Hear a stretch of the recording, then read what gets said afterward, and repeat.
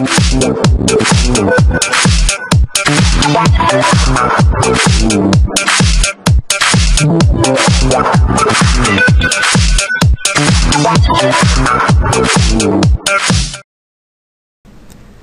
there, DW96 here, today with a very nice and quick video tutorial on changing the default line spacing in Word 2010 to match the line spacing options in Word 2003.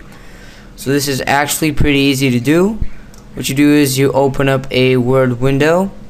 So the first method of doing this is from the Home tab, you click on Change Styles, Style Set, and then you click Word 2003. Everything in your document will now be formatted in a Word 2003 style and in case you want to make this as your default click change styles and click set as default so I won't be doing this right now though. And I'm going to show you another way you can change the default line spacing. Click the line spacing and paragraph button and then select line spacing options.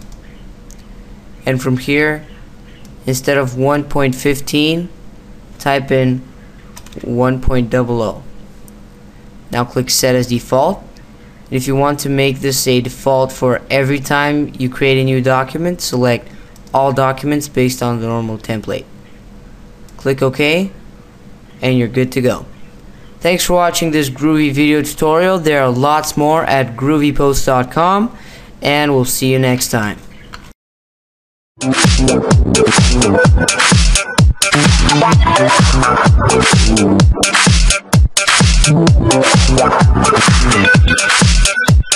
Thank you.